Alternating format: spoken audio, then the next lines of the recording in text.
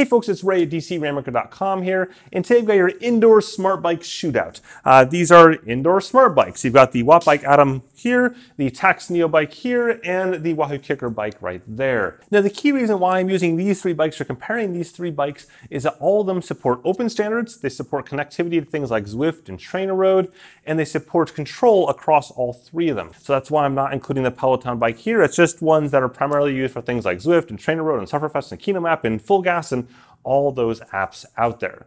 Now, I'll give you a bit of a spoiler right now. Uh, there's going to be no best bike. I'm not going to declare a best bike here. Uh, one, because it's going to depend on your budget. It's going to depend on what features you want. It's going to depend on your availability. Uh, something like Kickr Bike is only available in the US, and by available, I mean only if you're one of roughly 100 people this year. So that's going to limit kind of the choices there. And two, I don't think there is a best bike. Uh, these are all great bikes. I think you're going to enjoy these bikes if you buy these bikes, but I think they're all first generation bikes. And I think there's caveats and catches and things that all three manufacturers are either learning or have already learned. In the case of something like the, the Watt bike, has been out for two years, that I think we fast forward two years or so, they're going to be dramatically different bikes and probably at different price points as well. So with that, let's go ahead and sit down at the desk and kind of walk through all the features. I'm going to compare all these three bikes in a couple different categories. I do have a complete shootout post that you can see right now on the screen here, and that's going to go through way more detail than I can possibly capture in this particular video. So things like Q factors, I'm not going to talk about here. All that kind of like nuanced measurement stuff, it's in the post right there, and a lot of little nuanced features that Again, I just can't really fit in this video without it being 45 minutes long. Now down in the description right there in the first comment, I'll put little time codes. So if you want to skip around to the different sections of this particular comparison, you can do that. So the first category is getting it set up and kind of a whole unboxing type experience. Uh, and it definitely is an experience. Uh, all these boxes are pretty darn heavy. They're about 50 kilos, so roughly uh, between 110 and 120 pounds all in. They mostly will take two people though. If you're determined like myself, you can get it done with one person. It just is going to be a little bit sketchy. So the Watt is going to be the easiest. That one comes completely fully assembled, minus sliding a seat post and attaching the aero bar slash kind of tablet holder on it. And then from there you get to the Wahoo bike, which for me took about 20 minutes, not including taking photographs and stuff like that. And then above that, you've got the Tacx bike, which took about 30 minutes again, including photographs and stuff like that. None of this is hard. It's all fairly straightforward. It's just simply following the steps step by step until you get to the end of it. Now, once you've got it assembled, it's time to go ahead and get it set up for your particular position. Now, all three of these bikes support adjustments so that you can go ahead and move things like the seat post up and down and the front up and down. But how they do that is different for each one. In the case of the Wattbike Atom, for example, you can move that seat post up and down using just a lever, no problem. You can move the front handlebar entire system there up and down using just the levers, but you can't slide that seat post or the front handlebars forward and backwards with levers. You need to use a hex wrench to do that. Whereas in the case of the Tacx bike and the Wahoo bike, there's levers for all those different things. So you can kind of do that on the fly a little bit easier. For the most part, change between two people's positions takes about 20 to 30 seconds in my experience. Though for all of them, you'll need to go into the app and also change the weight, especially if you've got someone with kind of dramatically different weight, because that'll impact the ride feel of the trainer itself. So if you don't do that, for example, things like sprints and whatnot will feel weird and, and incorrect. Now, for me, in my particular height, I'm six foot two, which I think is roughly 192, 193 centimeters. I had no problems finding my position on any of these bikes. The one challenge I did have, though, is what I would call the thigh gap problem, which in particular is on the Tacx Neo bike and the KICKR bike. The top tube there is fairly thick. It's way, way thicker than my average road bike, thicker than the uh, Wattbike Atom, which means that my thighs actually rub on both of those bikes. Uh, now, in the case of the Tacx bike, that top tube doesn't actually go all the way across. In fact, it's just the seat post that's essentially causing that issue versus the KICKR bike, it goes all the way across. And so check out my full post. I include the exact measurements, all that kind of stuff, and how to double check your particular thigh gap to see if you'll fit or not. Even though I rub on it, it doesn't really bother me that much for rides up to roughly about an hour, which is usually kind of the max of my trainer rides. Uh, but for you, it may be a bigger issue. Next is shifting and gearing. Uh, now this one's easy. Wahoo wins. Like it's, it's so much better than everyone else. Uh, the way Wahoo has done their gearing. But first, let's talk about the Atom because that's sort of like the, the basic level. Now, keep in mind the Atom is the cheapest one, so it does sort of make sense here. In the case of the Atom, you have shifters on the right-hand side. The buttons are actually duplicated on both sides, but the shifters on the right-hand side is the only one that'll go ahead and shift. And it supports essentially two different gear options. You can do an 11 speed or 22 speed. Uh, and then the way you shift is using the right-hand shifter buttons. There's two little buttons in the front there. You just go up and down through that entire gear range. There is no concept of front chain rings or back cassettes. It's simply up and down from 1 to 11 or 1 to 22 and back down again. Uh, previously, they only had 22 gears, and then 11 came out uh, this past fall. The 11 is so much better than 22, like worlds away better. The downside though with shifting on the Atom is that it doesn't have any like real tactile feedback. You hear a tiny little click, but as soon as you're pedaling or the fan is on, you can't hear that anymore. So you don't really know like if you've shifted or if it's confirmed it.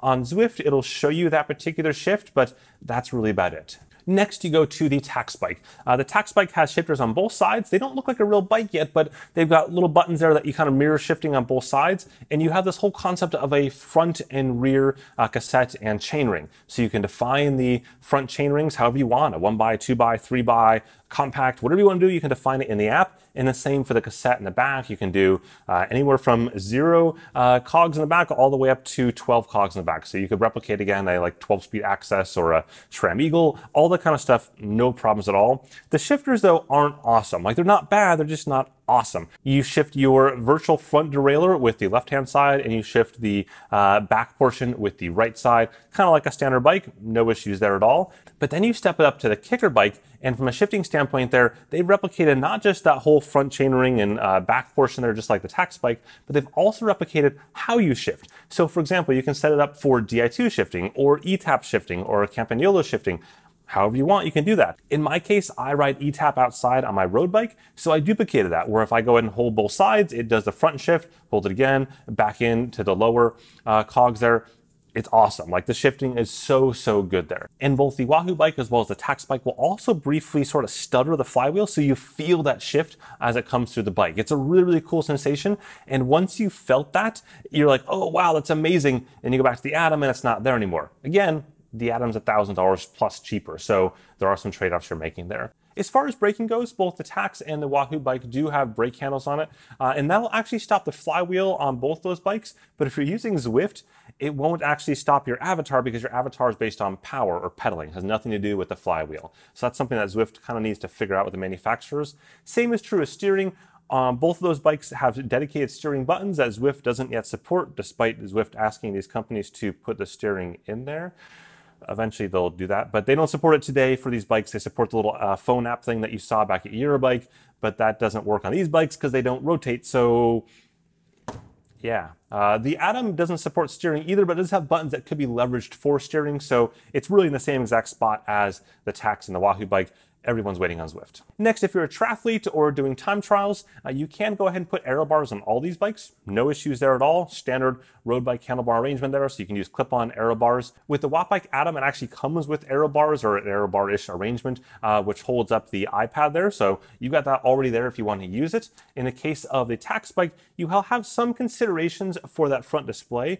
I was surprised though that it actually wasn't an issue for my particular clip-on bars, uh, and that's mostly because most clip-on bars actually raise up a little bit before they got outbound. Uh, so you end up clearing the entire console, more than I ever expected once I put them on there. And then in the case of the Wahoo bike, it's just a standard road bike handlebar and there's nothing in front of you, so the world's your oyster there. Next, we have a bit of a practical thing, which is displays, storage, and USB ports. Uh, now, these are indoor bikes. You're not going to go out road riding on these bikes out in the road. Uh, mind, we'll talk about that later on. Uh, but for right now, they're indoor bikes. Uh, so that means that you want things like a display to be able to see what gearing you're in, and you want things like storage to be able to put stuff, and you want things like a USB port to be able to plug things in and charge them, whether it be a tablet or so on. So the Wattbike Atom doesn't have any USB ports, unfortunately, uh, and doesn't have a place to store things. It does, however, have a tablet stand built into it, and that works just fine. It's built into the aero bars, as you see there. The case of the Tacx bike is sort of like the Mercedes-Benz when it comes to all the three of those categories there. It has two 2 amp USB ports under the bottom there. Uh, it's got a full storage area there that you can put all sorts of fun stuff in there, gels, etc. And it's even got a removable inset, so it's a rubber like silicone inset you can take out. You can go ahead and dishwash it if you get a bunch of weird gel stuff in there. Who knows what you did to it, but you can clean it really easily. Uh, it has the display console there, which depending on which app you're in, will either show things like gearing, or if you're not in any app, it'll show things like incline and speed. It'll also show heart rate as well, paired to your heart rate strap. It also has two fans up there as well. They aren't too awesome. It's like a light breeze, like me just giving you a blow.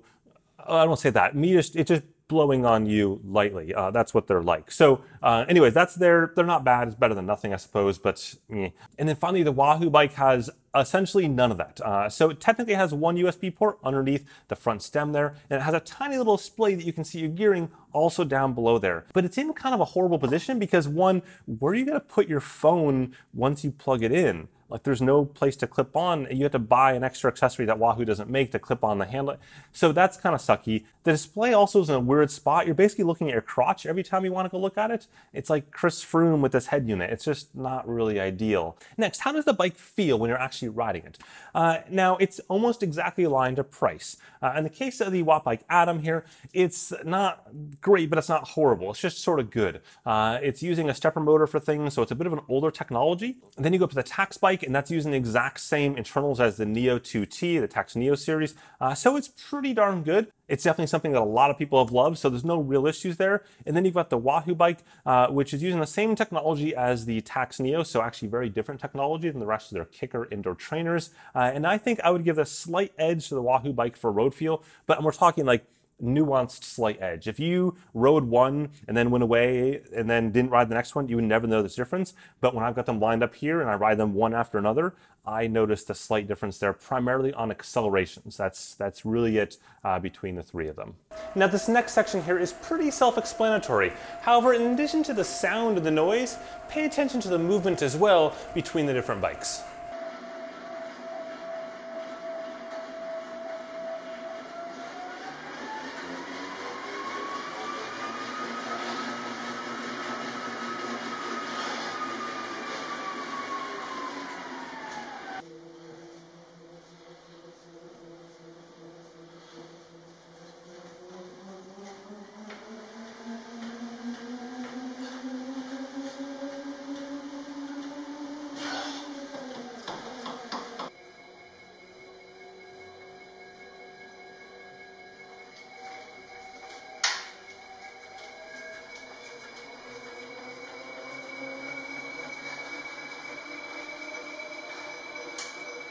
Okay, a quick note before we go on to the next one. If you're finding this video useful or interesting or whatever the case may be, go ahead and whack that like button right now at the bottom there. It really helps out the video and the channel quite a bit. From an application compatibility standpoint, all three of these support ANT Plus FEC and Bluetooth Smart Control. I didn't say Bluetooth Smart FTMS because both the KICKR bike and the Tacx Neo bike technically support only their own protocols for that. And in the case of the KICKR bike, it also doesn't broadcast out as standard power or standard cadence on ANT Plus or Bluetooth Smart, Wahoo says that's coming at some point. Again, it'll show you power and cadence when you're connected to a trainer app, but you can't necessarily use it to monitor on a watch, for example, or whatnot, uh, like you can the rest of Wahoo's trainers. Now's a good time to talk about accuracy. Uh, all three of these bikes are pretty darn close on accuracy. I'm not really seeing any outliers there. I dive into all of the accuracy nuance in my full in-depth reviews of each one of them. In the case of the Wahoo bike, that'll come next week, uh, but accuracy-wise is pretty good across the board. Next, there's a bit of the party tricks category, which simply means there's things that don't fit into the other categories like in nice little buckets.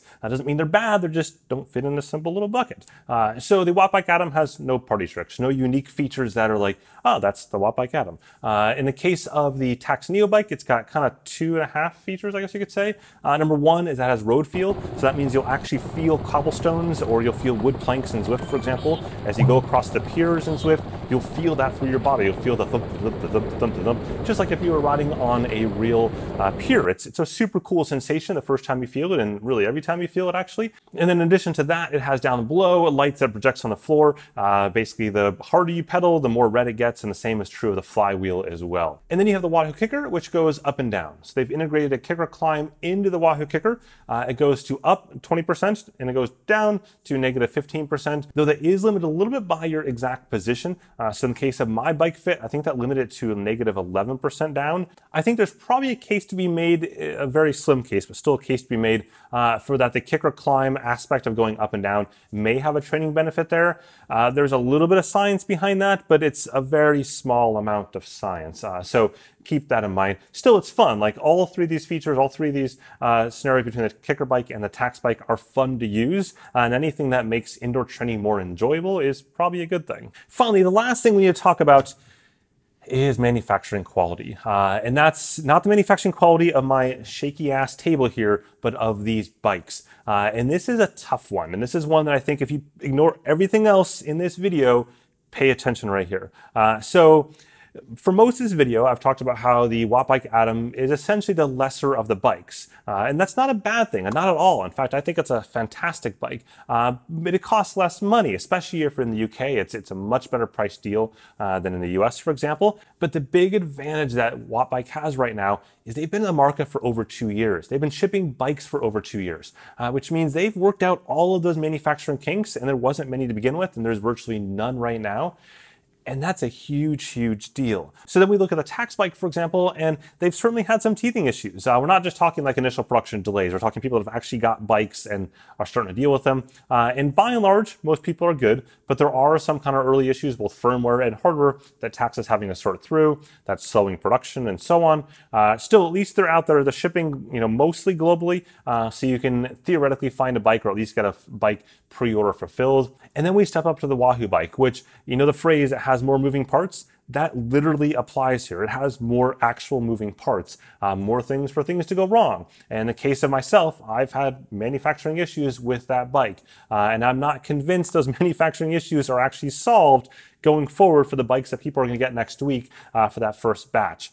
We will see. Uh, I think, though, that we probably have a bumpy road ahead for not just Wahoo, but also Tacx for the next few months. Like, I think we probably won't see stabilization of these hardware components and whatnot, manufacturing side of things until probably 2020. Okay, so there you go, a complete showdown, shootout, shoot around, whatever you want to call it, of all these bikes right here. Uh, hopefully you found this interesting. Again, I will have video reviews or written reviews of all of them. Uh, you'll probably see some of them at the end of this video linked right there. And then also on the site, there's tons more detail on all that stuff. If you found this interesting or useful, please whack that like button in the corner there, as well as the subscribe button if you want more sports technology goodness. Or you can drop a comment below if you've got questions, and I'll try to go ahead and get it answered.